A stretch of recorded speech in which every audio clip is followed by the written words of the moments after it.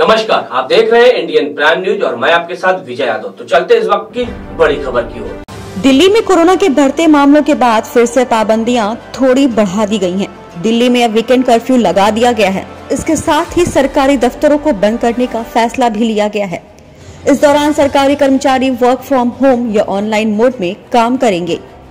दिल्ली में कोरोना के बढ़ते मामलों के बीच पाबंदियाँ और भी बढ़ा दी गई हैं। दिल्ली में वीकेंड कर्फ्यू लगा दिया गया है, यानी शनिवार और रविवार को कर्फ्यू रहेगा और इस दौरान बेवजह घर से बाहर निकलने पर पाबंदी रहेगी।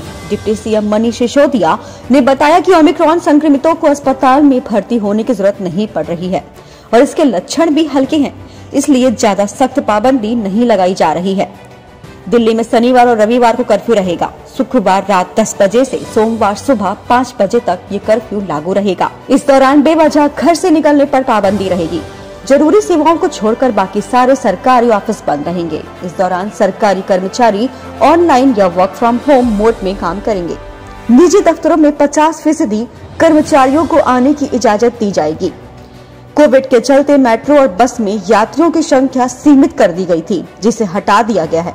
अब फिर से मेट्रो और बस फुल कैपेसिटी के साथ चल सकेंगे। यात्रियों को मास्क पहनना ज़रूरी होगा। बगैर मास्क के किसी को एंट्री नहीं होगी। जी आपको बता दें, दिल्ली में कोरोना की रफ्तार अब डराने लगी है। दिल्ली में संक्रमण दर बढ़कर छह दशमलव छियालीस प्रतिशत हो गई है। बीते दिन राजधानी में कोरोना के चार हज़ार निन्यानवे नए मामले सामने आए थे। स्वास्थ्य मंत्री सत्येंद्र जैन ने बताया कि कोरोना का नया वेरिएंट ओमिक्रॉन इसकी वजह है। उन्होंने बताया कि नए मामलों में चौरासी फ़ीसदी ओमिक्रॉन के मरीज़ हैं। स्वास्थ्य मंत्रालय के मुताबिक देश में अब तक ओमिक्रॉन के एक हज़ार आठ सौ बानबे मामले सामने आ चुके हैं। इनमें से तीन सौ बयासी केस दिल्ली में ही हैं। Bureau report, IPL.